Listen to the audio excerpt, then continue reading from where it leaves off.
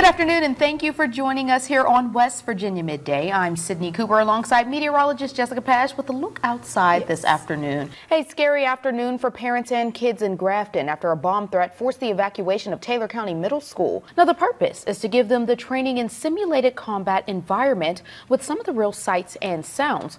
Now, a warning before we start the video, some images may be a little graphic. Teachers and other school service personnel were up at the start of the workday not to head to the classroom, but to hit the streets with signs like these. They say they need higher pay and fair premiums. They won't head back to class until they get it. Breaking news this afternoon, a teacher at Lincoln High School has been suspended indefinitely for writing a controversial book that apparently includes personal details of the lives of his current and former students. Mike Valenti is looking into this developing story for us. Now he joins us live this afternoon in Harrison County. It's a story that rocked Clarksburg this week. Residents say they feel like justice will finally be served in the 1981 murder of a seven-year-old boy. You may just be waking up, but it's never too early to think about food. It's time for this week's recap of Tasty Tuesday.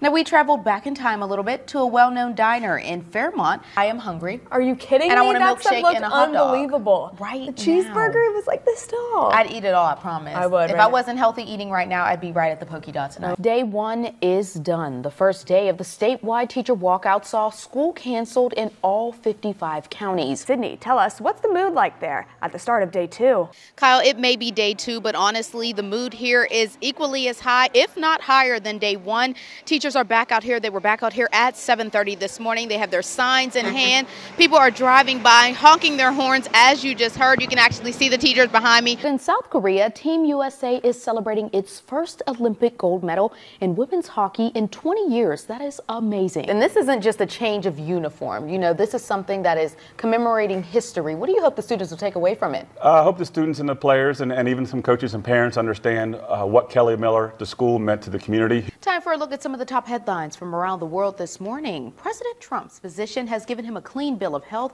both physically and mentally. Authorities are trying to figure out what led a 19 year old to carry out a deadly mass shooting at a high school he once attended. The Greek life saga continues at WVU as we've been telling you about a freeze on social and recruitment activities for the 16 fraternities on campus. Okay, One thing we're not looking forward to, though, the rain coming tonight, but it may be a mm-hmm. chance to get close, hold yes. the umbrella, you know, that's definitely yes, going to be needed. Def Blaring horns and loud cheers was the common thread tying together all 55 counties in West Virginia Thursday. That, along with thousands of teachers and school service personnel rallying together for the statewide walkout, leaving every public school closed. We love what we do. We're not asking to be rich. We just want to be able to make a decent wage those same feelings echoed amongst most in Taylor County as calls for higher pay and fair PEIA premiums went unanswered by lawmakers. They are hearing what we're asking for. Um, they're a little reluctant to help us out at the moment. On Wednesday, Governor Justice signed a bill that would give state teachers and public service personnel a 2% raise. It was met with little satisfaction. The raise that they're proposing is is more of less of a cut than it is a raise because our health benefits go up much higher. To break it down for you, the average teacher salary is $45,622 here in the Mountain State, down from the $58,353 average. That ranks us in close to last place at 48th in the nation. A lot of us are working second jobs or third jobs just to make ends meet. One school counselor believes making changes to current wages and benefits will only enhance the West Virginia education system in the future. We want to make the teaching profession attractive enough for our best and brightest for them to work right here in West Virginia. As for current teachers and school staff, they will be absent from the classroom yet again on Monday. They say the solution to end the walkout is simple. Legislators have to hear us, compromise with our union leaders so that we are better paid and they fund our PEIA. Keeping you connected in Taylor County, I'm Cydney Cooper.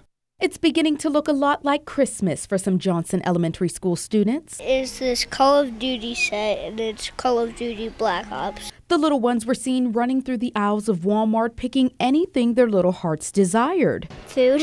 Food. That's all she asked for. Sponsored by members of the community, the Shop for the Tots event makes the season a little more merry and bright for students and low income families. Some of our students who might, you know, be fortunate enough to have a wonderful Christmas, to see things from other perspectives and to know what it's like to walk in somebody else's shoes. From stylish clothes to the hottest toys, seniors from neighboring Bridgeport High School served as Santa's helpers as the tots packed their carts. I can barely keep my kid under control because he just wants he just wants everything. He loves dinosaurs. That's his favorite thing to get, and I mean, he's a good kid. and I like him a lot. For some, waking up to a tree filled with presents on Christmas Day is not a reality. The annual event works to change that for as many kids as possible. Some of us don't understand what it's like to not be able to get these toys and have 500 presents underneath our Christmas tree, and to be able to give back like that's great. Though the kiddos get to take home their gifts, participants say they too take away something special from the event, something that can't be bought in a store. I've never known a student who has gone through and taken part in this experience who doesn't come away with an extra special feeling in their heart about what the true meaning of the season is.